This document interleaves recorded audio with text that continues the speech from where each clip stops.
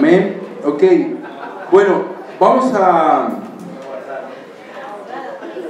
Vimos, como te decía, un panorama, ¿verdad? Obviamente no detallamos, eh, no revisamos escritura por escritura. Este, solo puedes pasar mi Biblia, está ahí en mi mochila. Hoy en esta sesión sí voy a necesitar mi Biblia. Ahí, gracias. Entonces, no revisamos escritura por escritura, ¿verdad? Pero vimos un panorama básicamente de lo que es el Espíritu en el Antiguo Testamento y de cuál era su función, ¿verdad? Hoy vamos a hablar un poco, gracias, vamos a hablar un poco del el libro de los Hechos, ¿sí? Obviamente, como sabemos, hermanos, en el Nuevo Testamento el Espíritu Santo pues cobra una acción muy fuerte, ¿no? ¿Verdad? O sea, está ahí en cada, en cada esquina, podemos decirlo de una manera, es mucho más claro eh, para eh, nosotros en el Nuevo Testamento, para ellos en el Antiguo Testamento no. Pero hoy vamos a hablar del libro de los Hechos específicamente. Y sí, vamos a tener, voy a necesitar un poquito que, pregunten, que, que, podamos ver el punto que voy a desarrollar en esta, en esta sección, porque no quiero hablar de todo el espíritu en el libro de los hechos, sino de una función prioritaria y que el escritor quería dejar bien claro. Ok, vamos a, ir a la siguiente. Lo que vemos en la escritura y lo que vamos a hablar hoy es el espíritu de la unidad. Así le vamos a llamar al Espíritu en el libro de los Hechos. Le vamos a llamar el Espíritu de la unidad. De eso le vamos a hablar. ¿verdad? Del Espíritu de la unidad, qué es lo que realmente este, está hablando el, eh, el, escritor. Y vamos a ir a la siguiente presentación. ¿Quién escribió el libro de los Hechos? Lucas. ¿Perdón? Lucas. Lucas, ¿verdad? Lucas escribió el libro de los Hechos. Y vamos a ver un poquito de hermenéutica.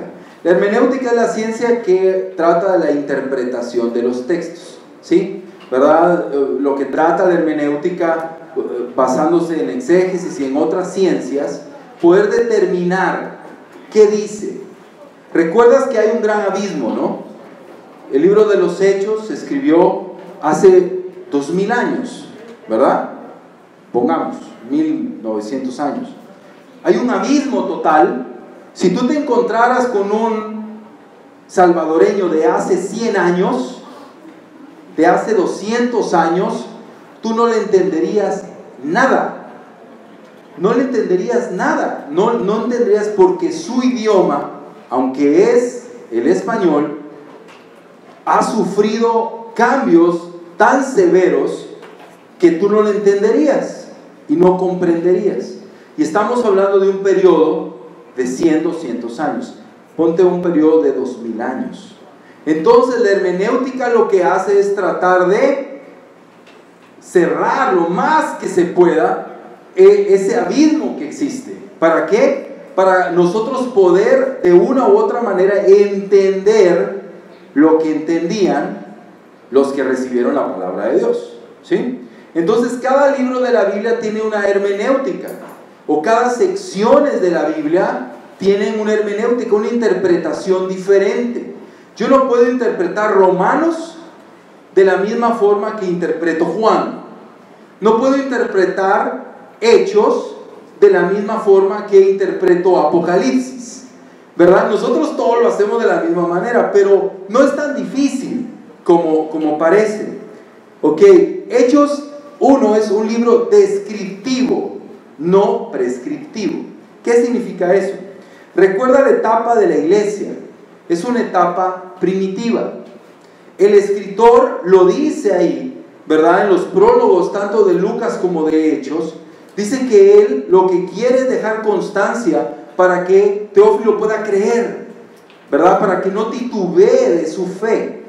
Entonces lo que está haciendo Lucas es describir la iglesia y describir la historia de Jesucristo.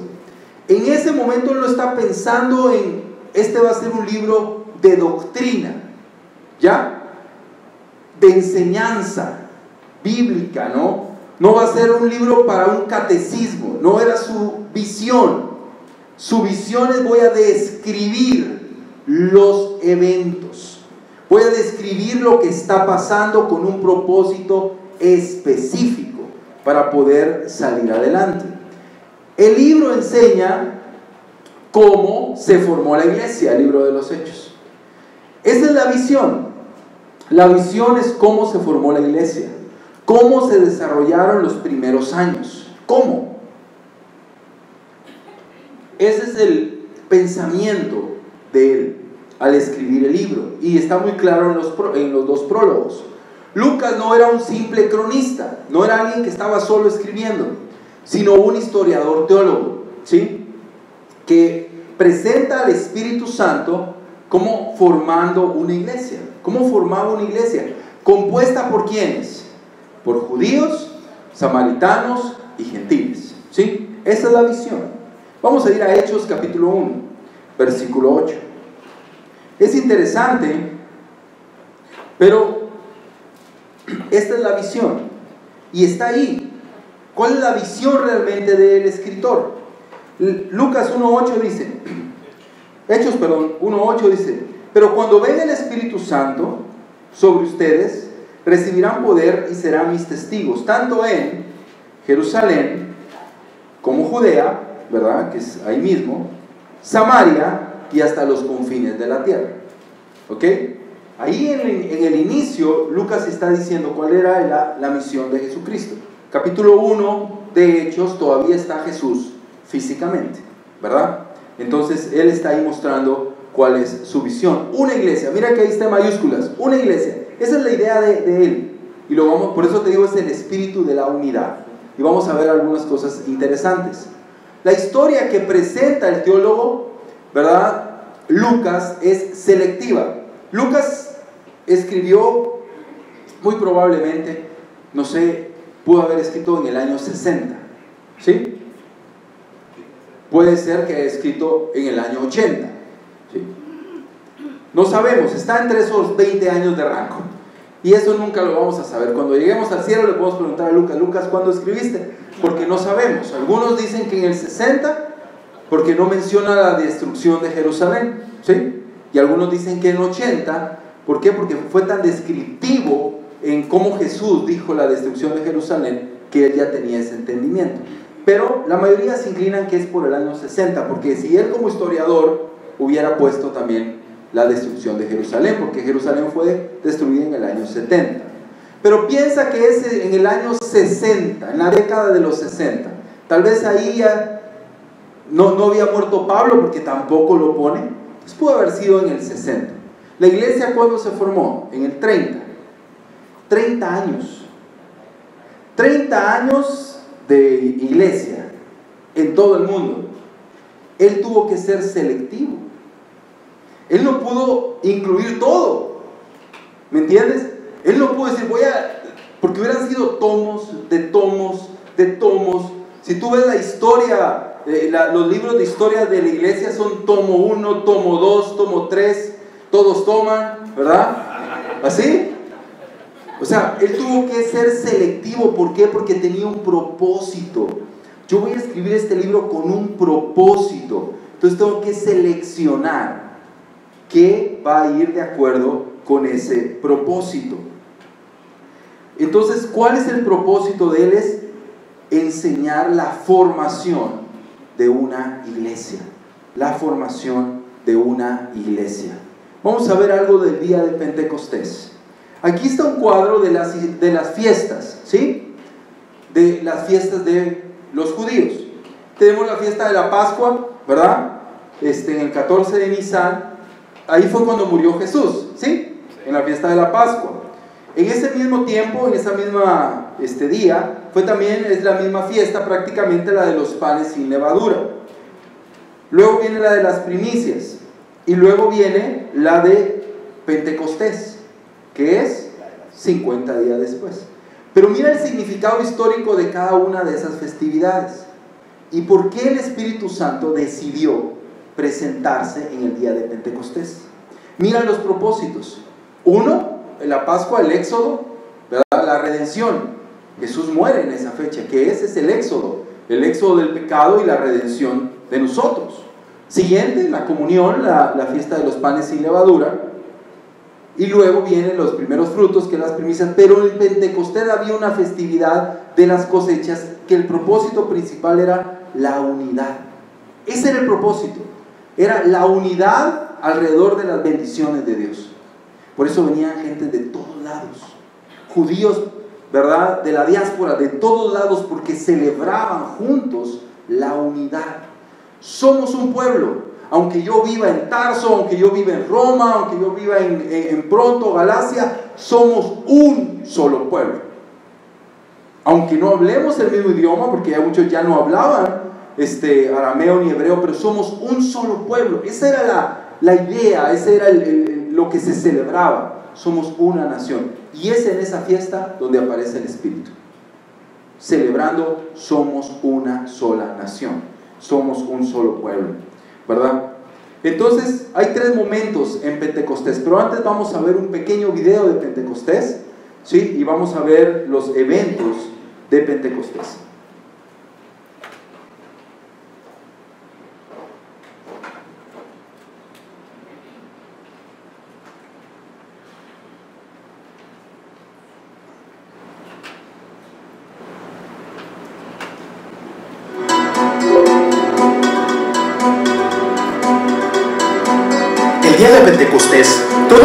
Estaban reunidos en un mismo lugar.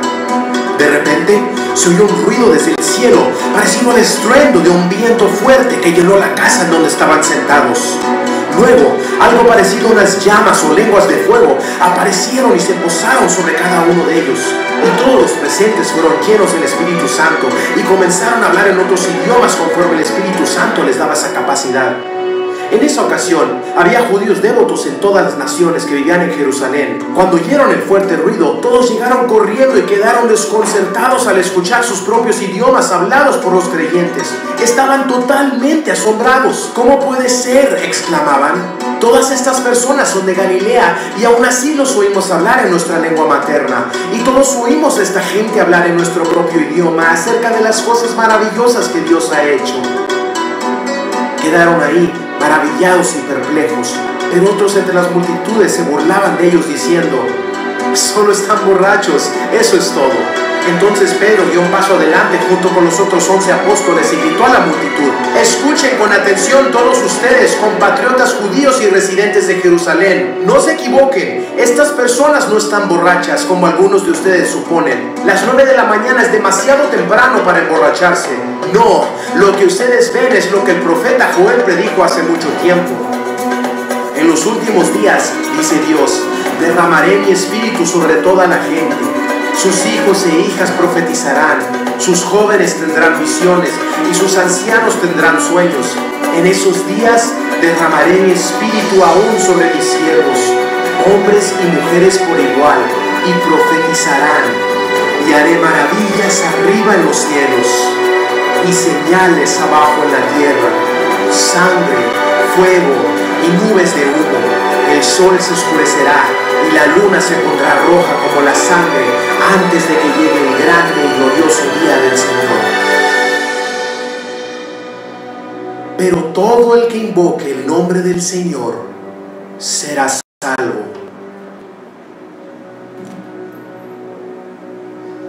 Amén.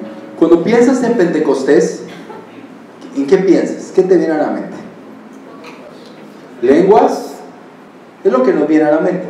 Es nuestra primera idea, ¿no? ¿verdad? Fuego, todo eso, ¿verdad? Pero nuestra, nuestra condición, ya, ya estamos direccionados a eso, ¿no? ¿Verdad? Si yo te digo, tú eres pentecostal, tú me dices, tú lo serás. ¿Verdad?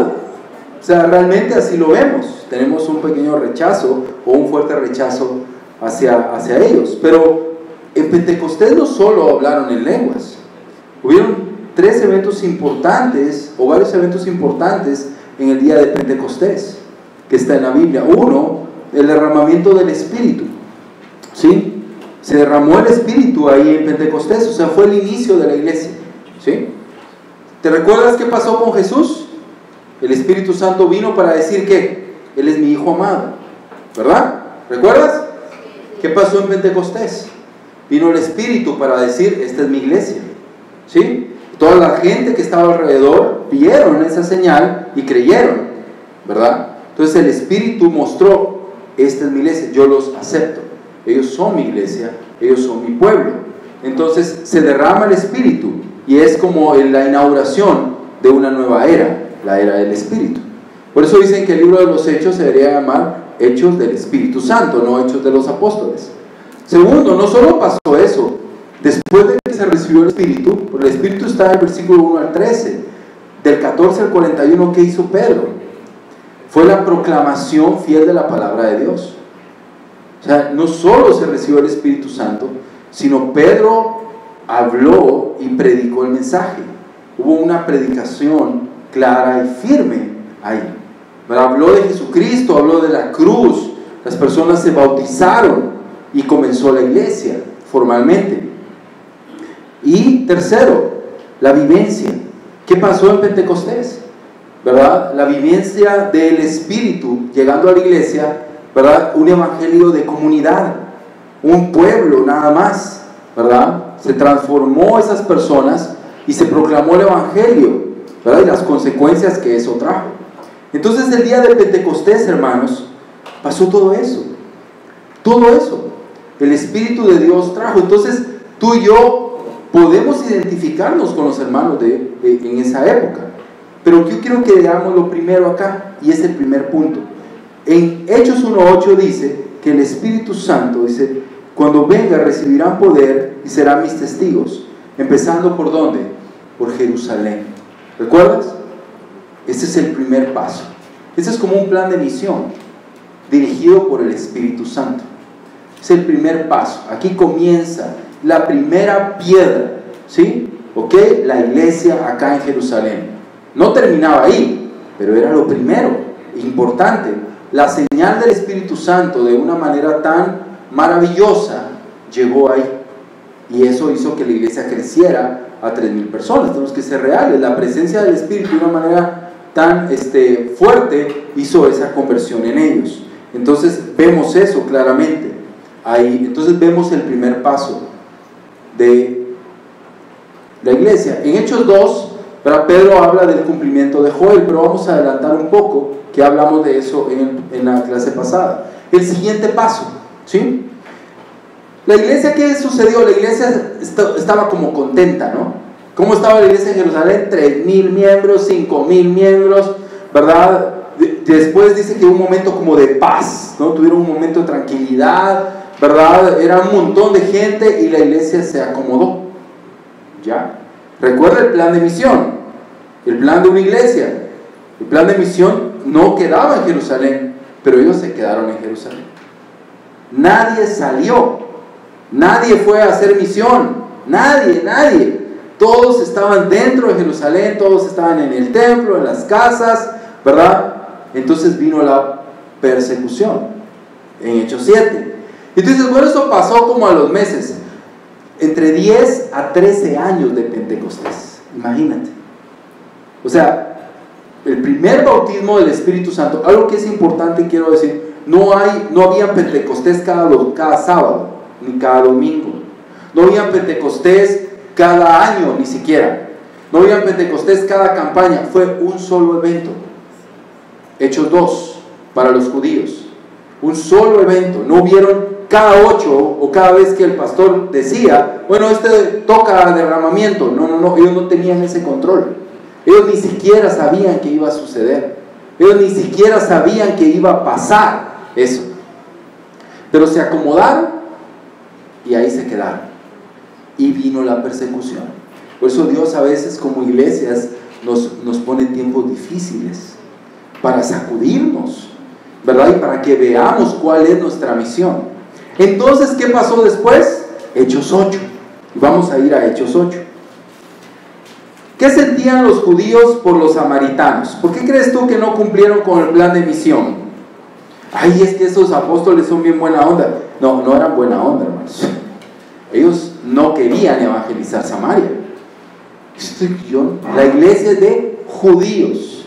¿Sí? La iglesia es de judíos para ellos. ¿Sí? Y ya. Entonces viene y sucede algo. la persecución y recuerdas, Felipe se va a predicar el mensaje en dónde? A Samaria. ¿Sí? Quería, tal vez no, tal vez sí, no sabemos. Pero fue a Samaria a predicar el mensaje. El siguiente paso. El siguiente paso. Entonces, vemos en Hechos 8 varios puntos importantes. Recuerda, llega Pedro y vamos a leer aquí Felipe en Samaria, en Hechos 8. Versículo 4 dice, los que se habían dispersado predicaban la palabra por donde quiera que iban. Felipe bajó a una ciudad de Samaria y les anunciaba al Mesías. Al oír a Felipe y ver las señales milagrosas que realizaba, mucha gente se reunía y todos prestaban atención a su mensaje. De muchos endemoniados los espíritus malignos salían, dando alaridos y gran número de paralíticos y cojos este, quedaban sanos y aquella ciudad se llenó de alegría. Si llegó la misión y estuvo ahí. Más adelante dice que en versículo 17, entonces Pedro y Juan les impusieron las manos y ellos recibieron el Espíritu Santo. Cuando los apóstoles se enteraron de lo de Samaria, ellos van a Samaria, ¿sí? Porque ellos no estaban como muy convencidos, ¿no? Entonces mandan a, a los pilares de la iglesia y cuando ellos llegan, oran por ellos y ¿qué sucede? El Espíritu Santo llega sobre ellos. ¿Sí? ¿Por qué tuvo que suceder eso? Aquí hay varias alternativas hermenéuticas. Uno, solo les faltaba la manifestación del Espíritu Santo. Eso es una alternativa. Pensar de que ya tenían el Espíritu, pero les hacía falta como las señales milagrosas. Por eso ellos llegaron y les impusieron las manos. Tenían el Espíritu, pero no la manifestación. ¿Verdad? Muchas veces nosotros este, compartimos también parte de esta interpretación. La segunda, solo les faltaba la imposición de manos.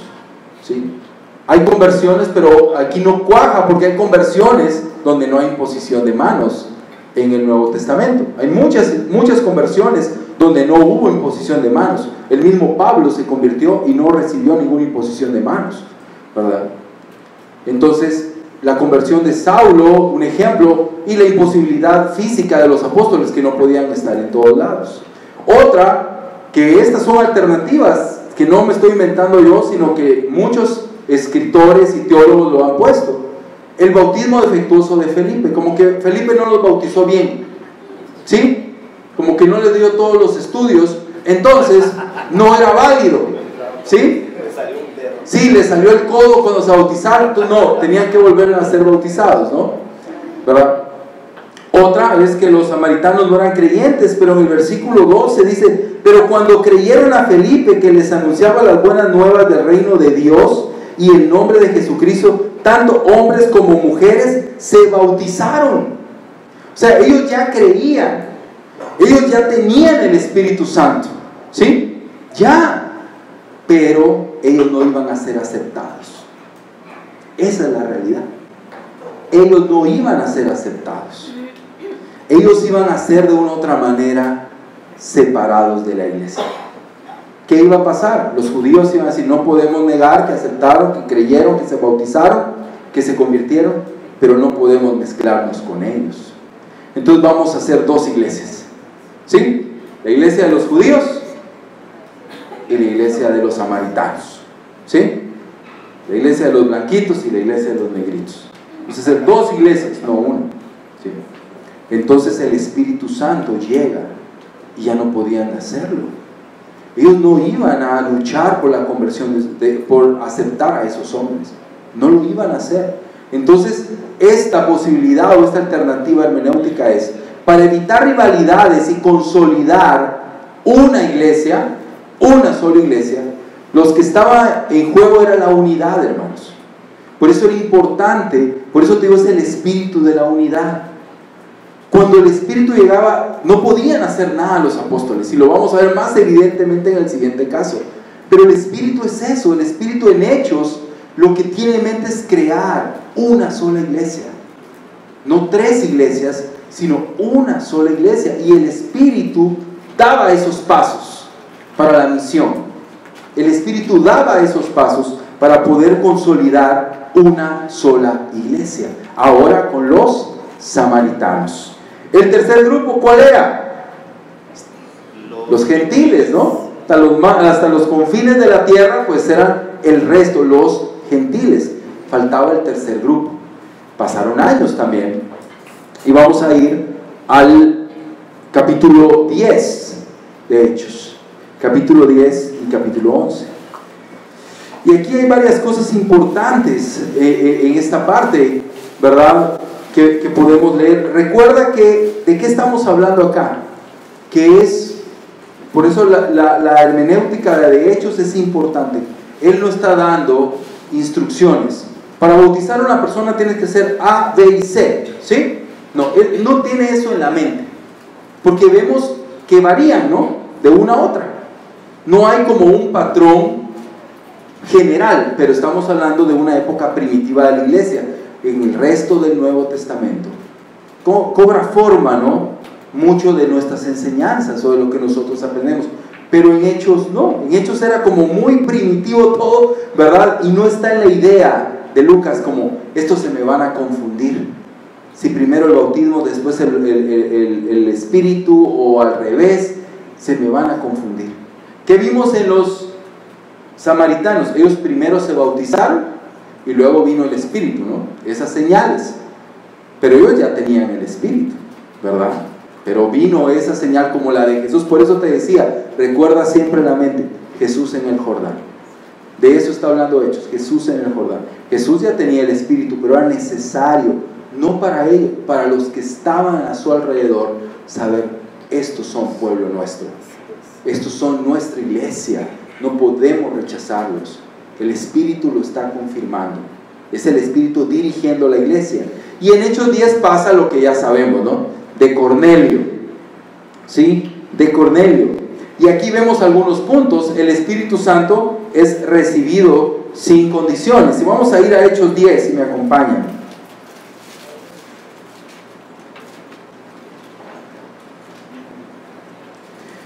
Y es Pedro en casa de Cornelio. Vamos a ir a Hechos 10, versículo 23.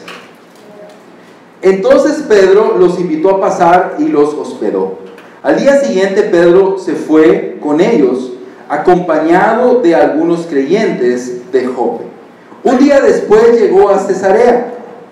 Cornelio estaba esperándolo con los parientes y amigos íntimos que había reunido. Al llegar Pedro a la casa, Cornelio salió a recibirlo y postrándose delante de él le rindió homenaje. Pero Pedro hizo que se levantara y le dijo, ponte de pie, que solo soy un hombre como tú. Pedro entró a la casa conversando con él y encontró a muchos reunidos. Entonces les habló así, ustedes saben muy bien que nuestra ley prohíbe que un judío se junte con un extranjero o lo visite.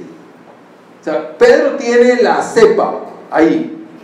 O sea, Pedro está como, yo aquí vengo no porque quiera, ¿sí? Ustedes saben que lo que estoy haciendo no es correcto. No es correcto lo que estoy haciendo. Ustedes, quiero que lo sepan, bien, bien político, Pedro, ¿verdad? Sí, pero mira más adelante. Versículo 28. Entonces les habló así, ustedes saben muy bien, perdón. Pero Dios me ha hecho ver, mira qué increíble. Pero Dios me ha hecho ver que a nadie debo llamar impuro o inmundo. ¿Cuándo le hizo ver eso? Ayer, Sí, o sea, ayer, el día de la visión. O sea, no es como Pedro, yo el día que, Jesús se fue me dijo, no, o sea, habían pasado años. Y Pedro no tenía en la mente, vamos a ir a evangelizar a los gentiles. Él no lo tenía en la mente, es, no. No, Joel aquí se acaba, hombre. O sea, no, no estaba en su mente, no está, no está en su cabeza, mucho menos en la de los demás, ¿no? Ah, eh, judíos. Entonces él dice, mira, para mí yo nunca hubiera hecho esto.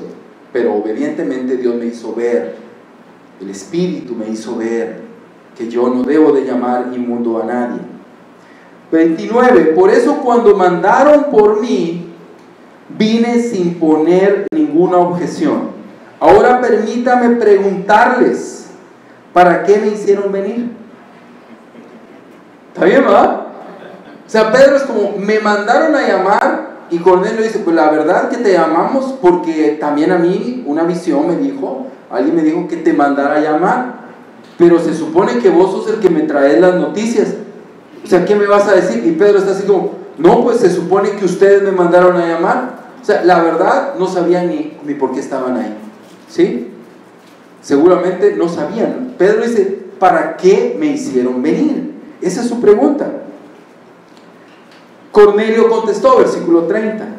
Hace cuatro días, a esa misma hora, las 3 de la tarde, estaba yo en casa orando. De repente apareció delante de mí un hombre vestido con ropa brillante. Y me dijo, Cornelio, Dios ha oído tu oración y se ha acordado de tus obras de beneficencia. Por lo tanto, envía a alguien a Jope para hacer venir a Simón, apodado Pedro que se hospeda en casa de Simón el curtidor junto al mar. Así que inmediatamente mandé a llamarte y tú has, has tenido la bondad de venir. Ahora estamos todos aquí en la presencia de Dios para escuchar todo lo que el Señor te ha encomendado que nos digas. Dice, bueno, aquí estamos, vinos. Y como buen hermano, dijo, yo no traigo clase preparada. Yo no hice la clase. ¿verdad? Pero ahí me voy, a, me voy a sacar una de la manga, ¿no? Y dice, bueno, pues les va a dar el sermón, ¿no? El, tenían como sus sermones ya, ya, patentados los apóstoles, que normalmente los iban diciendo en todos los lugares. Pedro tomó la palabra y dijo, ahora comprendo, que en realidad para Dios no hay favoritismo. Mira, años para eso años para comprender eso. Hermanos, quiero animarles. Somos, somos un producto en proceso. Amén. Hermanos, Dios sigue trabajando con nosotros. Si tú estás pasando pruebas, si tú no has podido cambiar eso en tu vida, tranquilo, Pedro tampoco podía. Pedro también había áreas que no había cambiado, que no había crecido, y Dios lo ayudó. Así como al apóstol fue ayudado por el Espíritu, nosotros también. Tal vez lo que hoy nos cuesta comprender y entender, en un futuro, si somos pacientes, Dios nos ayudará a que podamos entender. Vamos a seguir leyendo. Ahora comprendo, sino que de toda nación Él ve con agrado a los que temen y actúan con justicia. Dios envió su mensaje al pueblo de Israel anunciando las buenas nuevas de la paz por medio de Jesucristo, que es el Señor de todos. Ustedes conocen este mensaje que se difundió por toda Judea, comenzando desde Galilea, después del bautismo que predicó Juan. Me refiero a Jesús de Nazaret y les empieza a predicar de Jesús de Nazaret. 44. Mientras Pedro estaba todavía hablando, o sea, Pedro estaba hablando, ¿verdad? El Espíritu Santo descendió sobre todos los que escuchaban el mensaje. Los defensores de la circuncisión que habían llegado con Pedro se quedaron como asombrados, sorprendidos de que el don del Espíritu Santo se hubiera derramado también sobre los gentiles. Mira lo que está sucediendo, lo que está pasando y vemos algunas cosas que están en pantalla. Primero, la venida del Espíritu Santo vino sin condiciones. Recuerda que no es regla, ¿sí? Porque no son reglas.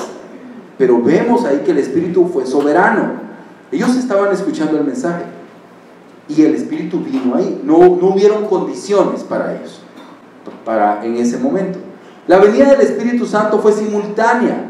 En el momento de la predicación, en el momento que ellos creyeron, vino el Espíritu. La venida del Espíritu Santo en casa de Cornelio y su relación con Pentecostés. Recuerda, fue lo mismo, el Pentecostés vino ahora, como vino a Samaria, ahora vino a los gentiles. Fueron eventos únicos. Mañana nos va a aclarar mucho esta parte que vamos a ver el Espíritu Santo en el Evangelio de Juan y, viendo muchas cosas gramaticales del texto. Pero vemos que fueron eventos únicos, no fueron eventos que cada quien, tú vas a una iglesia y muchas iglesias pentecostales dicen, busca tu Pentecostés. Dios te dará tu Pentecostés. Pelea por tu Pentecostés. No hay Pentecosteses individuales. Hubieron esos Pentecostés. ¿Para qué? Para formar una iglesia. Una sola iglesia. Ahora formada por quiénes? Por judíos, samaritanos y gentiles. ¿Tú crees que los gentiles iban a ser evangelizados si esto no pasaba? No, no iba a suceder. Sigamos 45. Los defensores de la circuncisión que habían llegado con Pedro se quedaron asombrados.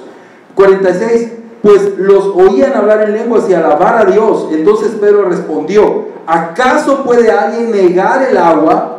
Imagínate. O sea, ellos nunca iban a ser bautizados. Tú dices, ¿por qué el Espíritu vino antes del bautismo? Porque es que si no viene antes, no los bautizan. ¿Me entiendes, hermano? O sea, el Espíritu está ayudando a la iglesia a formar una iglesia. O sea, porque tú me puedes decir, ah, entonces ahí Hechos 10 dice que yo puedo tener el Espíritu antes de bautizarme. ¿Verdad? Podrías usarlo como una opción, pero no. Es un sello. Dios está diciendo, yo acepto al pueblo gentil. ¿Sí? Pero tengo que mostrarlo porque ellos no lo van a hacer. Yo soy el que dirige esta iglesia. ¿Sí? Y tengo que hacerlo. Y así lo hizo. Entonces dice, nadie, no, nadie puede negar ahora que ellos sean bautizados. Y mandó, 48, y mandó que fueran bautizados en el nombre de Jesucristo. Entonces le pidieron que se quedaran con ellos algunos días. Aquí es el comienzo de la iglesia gentil. Entonces vemos la visión, como te digo, la visión de Lucas. Es mostrar al espíritu de la unidad, una sola iglesia formada por diferentes pueblos. Pero es una sola iglesia y el Espíritu luchó aún en contra de la voluntad de la misma iglesia, ¿sí? Para lograr el objetivo dado en Hechos 1.8. Pero Pedro, bueno, estaba contento, ¿no? Pero tuvo que ir a rendir cuentas porque no estaban contentos. ¿Cómo, cómo me gusta la Biblia? Porque si Pedro hubiera ido solo, nadie le cree de verdad. ¿Qué decía la ley? Tienes que llevar uno o dos testigos. Y Pedro iba con sus testigos. Si ellos, son los que dijeron, miren. O sea, Pedro tenía que, necesitaba testigos. Eh, había que convencer a gente dura. Pero me, me anima la bondad de Dios con, con la iglesia. Porque Dios, a pesar de nuestra dureza, Él lucha aún en contra de nuestra dureza para ayudarnos. Y trabaja en nuestro corazón. Así como estaba trabajando en la iglesia de Jerusalén, trabaja con nuestras iglesias, nos ayuda a cambiar. Yo agradezco tanto a Dios por la iglesia, porque honestamente la iglesia no ha cerrado, digámoslo de una manera, sus prácticas. Digamos, así somos y así nos vamos a quedar. La iglesia está en constante cambio, tratando de mejorar. No somos perfectos, pero hay una disposición al cambio que los judíos no, no, tenían, pero a través del Espíritu tuvieron que tenerla.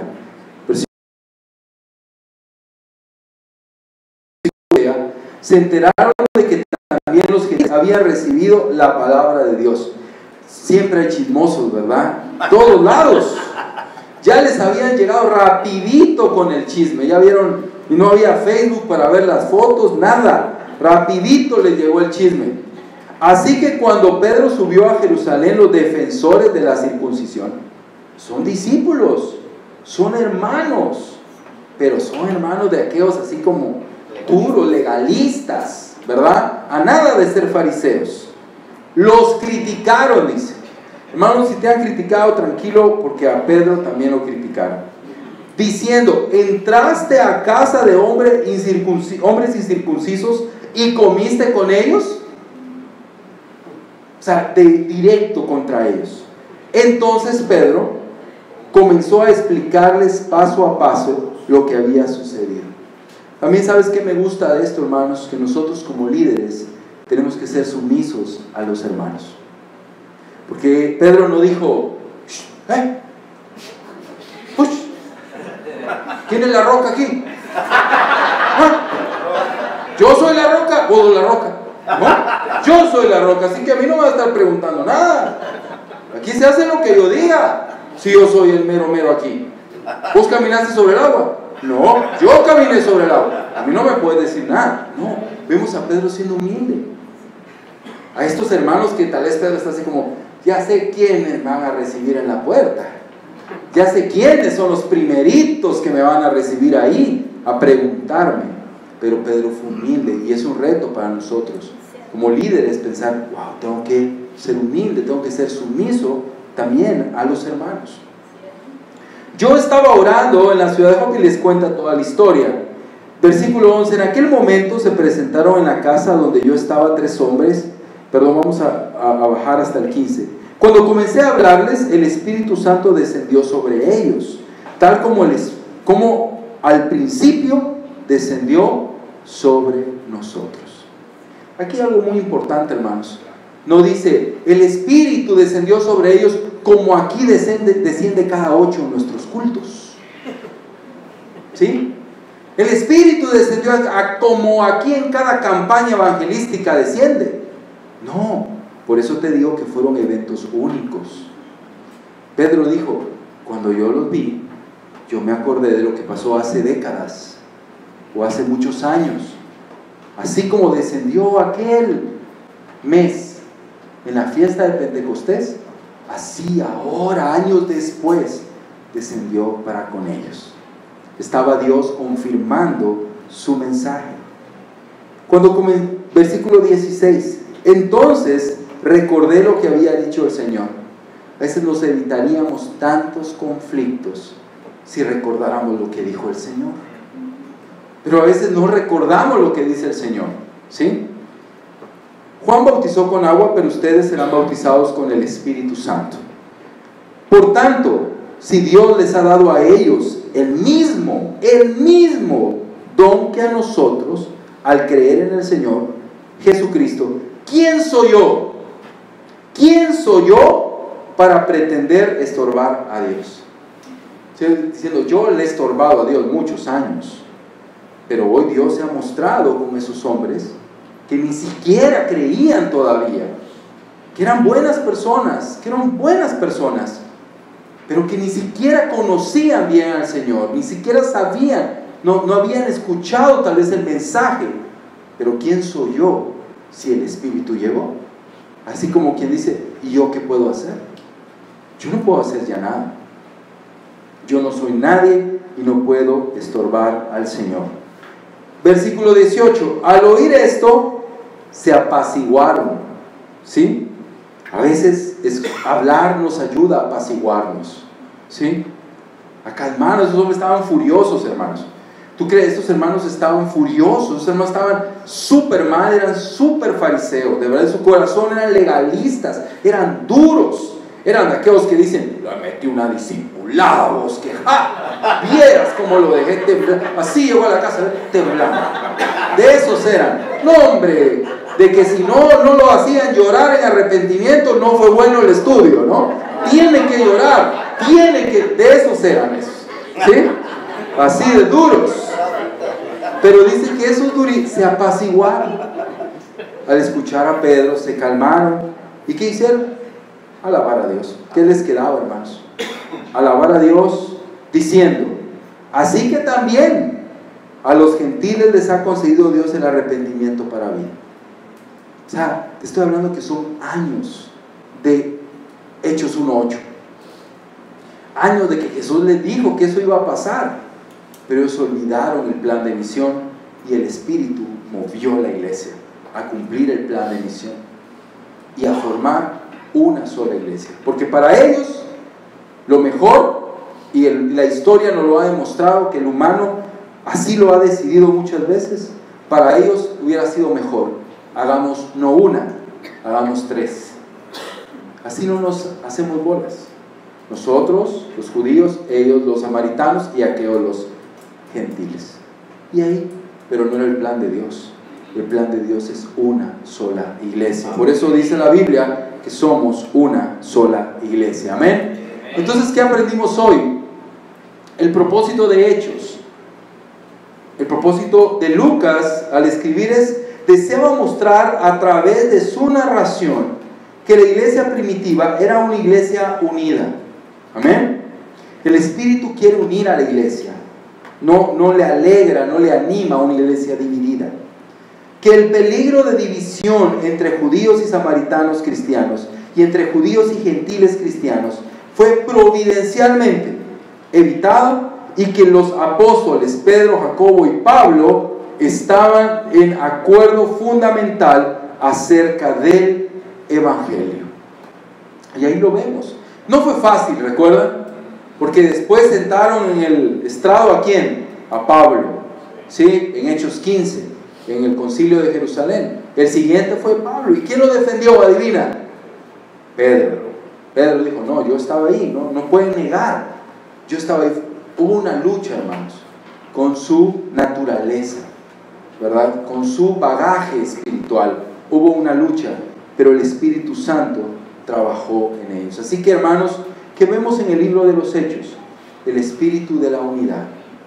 Todos de una u otra manera compartimos el día de Pentecostés. Todos tenemos, todos los cristianos verdaderos tenemos el espíritu. Tenemos el espíritu, pero también tenemos que predicar el mensaje y también tenemos que vivir en comunidad. Tenemos que ser una familia espiritual. Compartimos lo mismo. Y debemos de entender que cuando nosotros tenemos una iglesia dividida, cuando nosotros nos peleamos, cuando armamos bandos dentro de la iglesia, estamos contendiendo contra el Espíritu. Estamos peleando contra el Espíritu, porque el Espíritu es el Espíritu de la unidad. Es el Espíritu de la unidad. ¿Tú quieres ver una muestra del Espíritu? No es hablar en lenguas. Una muestra del Espíritu no es extravagancia. La muestra del Espíritu es una iglesia unida una iglesia unida. Y eso es el Espíritu en hechos. Y eso debe de ser el Espíritu en nuestra iglesia. Amén. Hermanos, que Dios les bendiga. No sé, ¿alguien tiene alguna duda? ¿Sí, Andrés? Una pregunta. Eh, para Hechos 2, eh, 1, perdón, cuando el Espíritu posa sobre los judíos que llegaron, ¿no? cuando estaban antes de, de, que Pedro se levantara a predicar, ¿cuál fue el motivo específico del Espíritu a que ellos hablaran una sola lengua y que se posaran ellos antes de ser bautizados, ya después. Bueno, vemos que los primeros 13 versículos, ¿verdad? De, de Hechos 2 estás hablando. Ah, ¿Sí? De Hechos 2, ¿verdad? Están los apóstoles en el aposento alto, ¿verdad? O está el grupo de la iglesia, más o menos 120, están ahí. El Espíritu iba a dar una señal. Eso es, una señal. Recuerda señales los acompañarán. Fue la promesa, ¿ves? Marcos 16, parte de Lucas 22, señales los acompañarán. Ese fue el propósito. Esa fue una señal que acompañó a toda la iglesia, no solo a ellos, sino las lenguas acompañaron a toda la iglesia en la era, apostólica. Fue parte de la promesa específica de Dios para la iglesia apostólica. Todos sus primeros 100 años de la iglesia fue una señal. Si ellos no hubieran hablado en lenguas en ese momento, pues esas tres mil personas no se hubieran acercado a ellos. Entonces, ¿necesitaban los apóstoles hablar en lenguas? No. Pero los que estaban a su alrededor sí lo necesitaban. Recuerda, en cada uno de los eventos, normalmente la señal fue más para los que estaban afuera que aún para quienes la recibían. ¿verdad? No sé si eso contesta tu pregunta. Sí. También para que fuera quizás con o sea, quitar el temor de los discípulos que, que estaban siendo perseguidos y eso fue como la fortaleza que Dios les dio a través del Espíritu Santo para que pudieran predicar sin temor. Sí, y en Hechos 4 es lo mismo. Recuerdan cuando ellos tienen mucho miedo, cuando son azotados, ellos se van a orar y oran y tiembla, ¿no? donde ellos estaban y fueron, ¿qué dice? Llenos del Espíritu Santo y predicaban con denuedo, con valor, la palabra de Dios. Entonces esas señales y el Espíritu hacía todo eso, ¿no? ¿Verdad? Daba señales, pero también regeneraba, fortalecía, capacitaba a las personas para cumplir su misión, ¿verdad? Aún a los apóstoles principalmente. ¿Sí? ¿Sí? Un fuerte aplauso para Pablo. Gracias, Pablo, por la enseñanza. Realmente, y si tienes alguna otra duda, mañana vamos a tener un poquito más de oportunidad. Ya estamos en el tiempo. encima, pero de verdad que ha sido muy especial, aprendimos muchas cosas. Si tú te pusiste atención específicamente, este, específicamente en esta segunda parte, podrías ayudar muchísimo a personas que vienen a la iglesia con un trasfondo pentecostés y que te preguntan, mira, pero es que las lenguas y todo, tienes hoy la herramienta para poder dar un estudio a ellos y ayudarles. Si pusiste atención en por qué hablaron en lenguas y por qué vino el Espíritu Santo en tres ocasiones diferentes, no en el libro de Hechos, y qué, es, qué nos enseñó Pablo, el espíritu de la unidad, una sola iglesia. Es increíble lo que hemos aprendido. Bueno, pues aprendimos que la neumatología es la rama de la teología que nos ayuda a entender más acerca del espíritu. ¿Ok? Y entonces también aprendimos la palabra hebrea que es ruah. Ruah. ¿Ok? Entonces, pues que Dios nos lleve con bien. Vamos a una oración y mañana los esperamos. Por favor, si no te has anotado, anótate eh, este, con por favor, para que tú tengas eh, tu diploma en el final de la semana. Toda la semana nos vamos a estar viendo a las seis. Oremos.